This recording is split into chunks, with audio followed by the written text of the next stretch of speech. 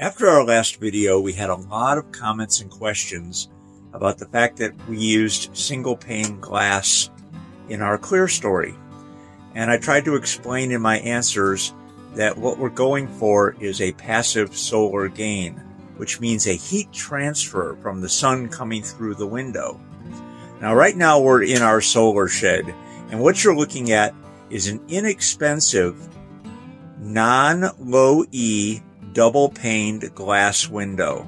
And as you can see, the sun is coming right through the glass. And if I go up to this glass and I touch it, it's cold. There's absolutely no heat transfer at all through that glass. And what we're going for is a heat transfer so that in the winter time when the sun is low in the sky, It'll come in through that single pane glass and allow for heat transfer. In the summertime, the sun will be high in the sky and the three foot overhang will shade those glass uh, windows in the clerestory almost 100% of the time. So anyway, I hope that answers a lot of the questions or concerns people had. Now, again, this whole house is an experiment and the ability to install a second pane of glass, which would then have a one and a half inch air gap between the two panes is possible at any time. But again, we're going to wait for a full year and see how this clerestory works because in theory, it should work with a single pane. If it doesn't, we'll modify it.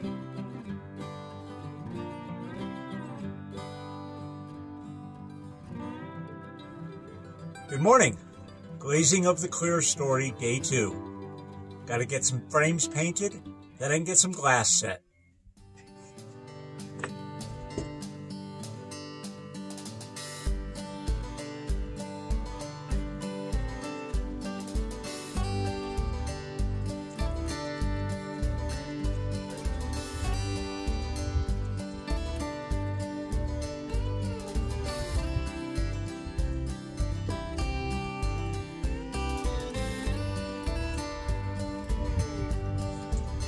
I'm really hoping to get this done before Yvonne gets back tomorrow night.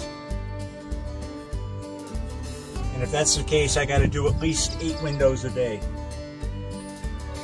But since I have nothing else to do today, I should be able to get it done.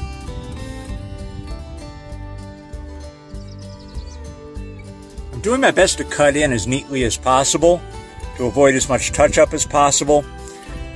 Also, we have some touch-up areas to do where the spray foam came through. And I'll have to get up there and scrape it out and hit that with some paint too. But first things first. Not even 9 o'clock in the morning yet, and the wind is already picking up. It's probably 15 to 20 miles an hour right now. And I just heard on the radio they're calling for gusts up to 38 miles an hour today. This wind sure slows you down if you're up on scaffolding. I've got a total of 10 panes of glass installed completely, and the wind is really kicking up, but I got to keep going. So I got to paint another five frames and see if I can get five more panes of glass installed today. Just for the record, it's 10 o'clock and check out the shadow.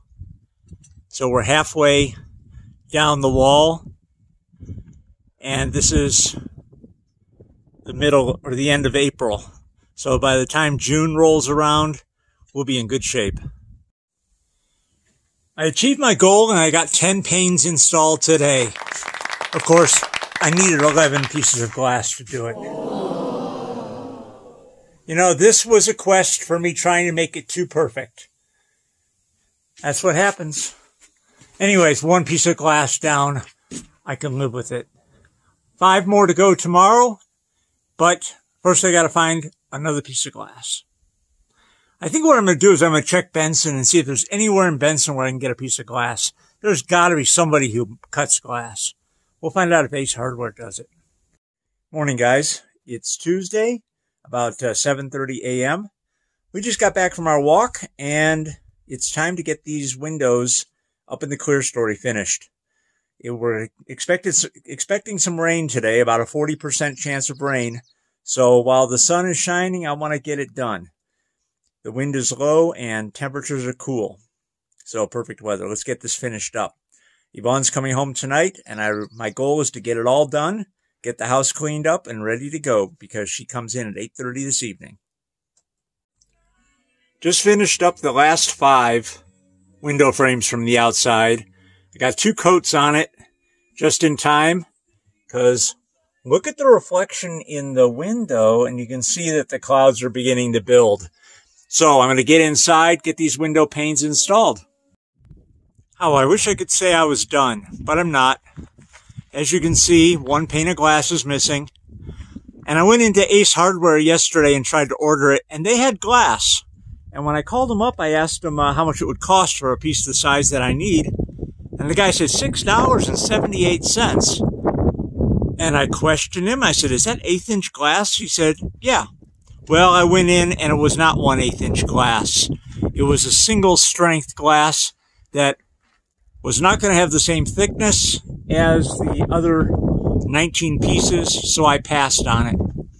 So I placed the order with the same glass company in Tucson, and unfortunately it's going to be a couple days.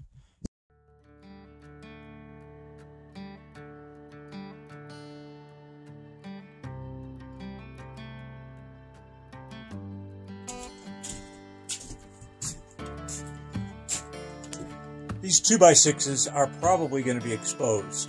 So I really don't want to see this. So what I did was I took some 1x6 and I put a 45 on both sides. And I'm just going to secure it right here. It'll make a nice decorative touch.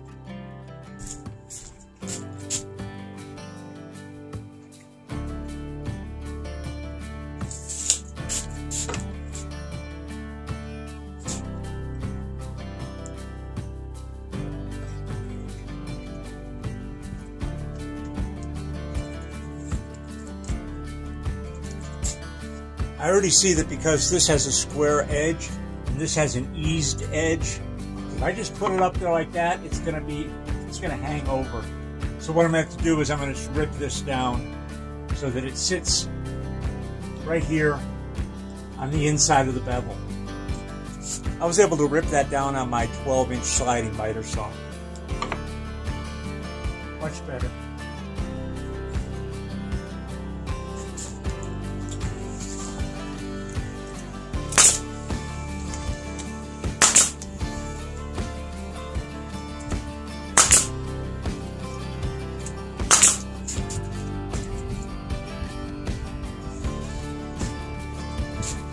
Trimming out the windows, it takes time, but it can be very satisfying when the miters work out nicely. So yesterday I went along and marked the location of outlets, switches, and things like that. And I also constructed this little privacy wall. Our toilet is going to get installed behind it. Now, according to code, we need a 36 inch width space, and we have 38 inches. That'll uh, that'll account for the sheetrock on this short wall and the cobbing on the wall. And again, we're not being, we're having no inspections. It's just that uh, I want to make sure it's not too tight. On this side is where the vanity is going to be located. So we'll have lower receptacles, upper receptacles. I I put in some blocking up here for a, an overhead light and then in this corner right here is going to be our shower. And where I am standing, I should say, let me show you. Right there on the other side of this little privacy wall. So on this side of the privacy wall is going to be the toilet. And this is going to be the location for our washing machine. And we'll have a receptacle, an electrical plug here, and a washer a washer box will be installed right here for the connections. And the drain, of course, will go through the, the 2x6 sill plate. I'm going to see if I can climb down this ladder while I'm holding this camera.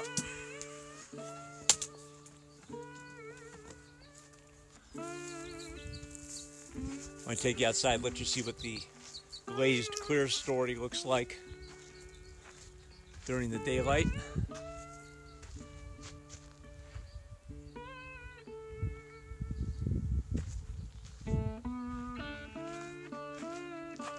Got a little touch-up paint I have to do up there where I got a little sloppy around the trim, but nothing too dramatic.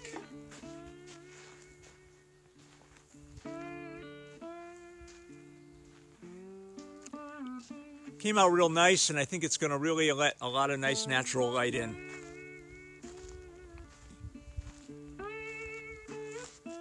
And the best part is, as you can see, the overhang already is providing a nice amount of shade. It's about 8.30 in the morning right now. So the passive solar design is going to work well on this house, I think. So the clerestory is now complete. In the next episode, we'll be installing our French doors.